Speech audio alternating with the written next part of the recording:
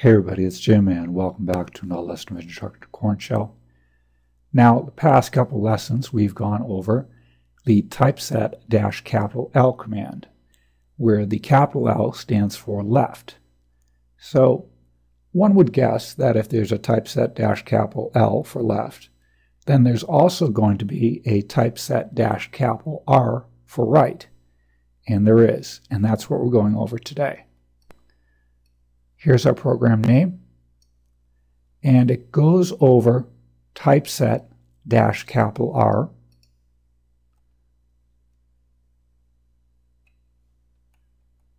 And here is how we would define a variable using the typeset dash capital R command.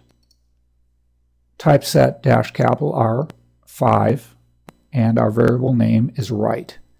Now what this means is that this variable, right, is always going to be five characters wide. And when you try to put something into it that's more than five characters, Korn Shell will take the five characters on the right-hand side. That's what the dash capital R stands for. And anytime you try to print something out, it's going to right justify the output. Now, this is useful if you're trying to print out money, for example, or numbers in general. That way, all the ones line up, all the 10 columns line up, all the 100 columns line up, so forth and so on. So we've just defined our variable right. It's always five characters wide, and anytime we try to put something into it, it reads the five characters on the right. And whenever you try to print it out, it always right justifies the output. So let's put in a single digit, number 8, into the variable right. And let's print it out. Let's print the contents of the variable out. So this just says, hey, we're putting the number 8 into our variable right. Now we're printing it out. We're printing out the contents of the variable right. And as you notice, I put those little colons in front and in back to show you exactly how large the contents of this variable are. Underneath it, I just printed 1, 2, 3, 4, 5 to represent columns. So you can see that this is five columns wide right here. And then we print a blank line. Let's run this program and look at the output of these four print statements.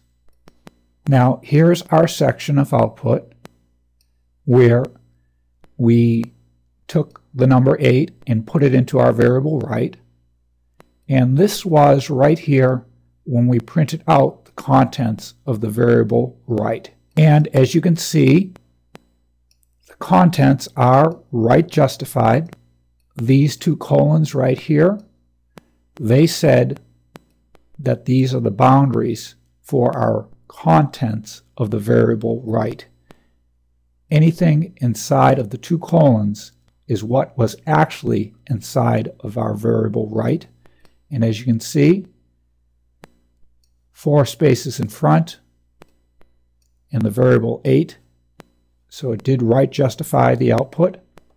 And underneath, we just printed our 1, 2, 3, 4, 5, which were our colon excuse me, our column markers, just to show that this variable did in fact take up five spaces, five columns.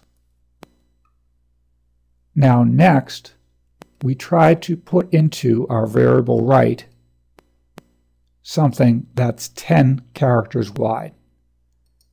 So we try to put it in, and because this was created with a dash capital R5, in theory, it should only take the five characters on the right-hand side, and we hope it does when we run this.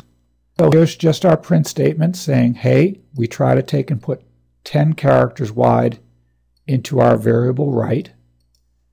And then we print out the contents of our variable right. And once again, we have those colons in front and in back of our variable just to show where the exact contents of the variable right begin and end.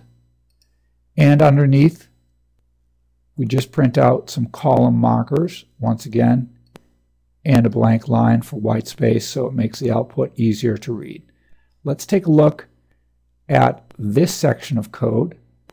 And like I said, hopefully it should take the five characters on the right. Here's our code that we've run. We were trying to assign 10 characters wide into our variable right, and then we printed out the contents of the variable right, and as you can see, it did take up only five characters wide, and it took the five characters from the right-hand side. So that's good. And lastly, what we want to look at is this right here.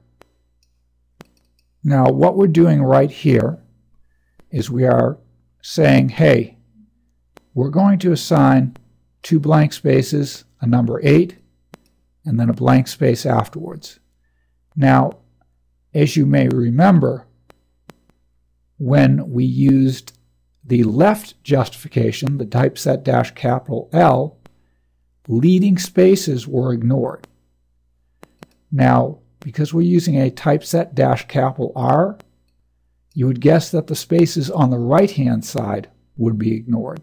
That's what I hope happens when we print out the contents of the variable right. So this is what we're putting in to our variable right. And I put the colon markers here just so you can see that we were trying to put in spaces in front and a space behind the number 8 into our variable right.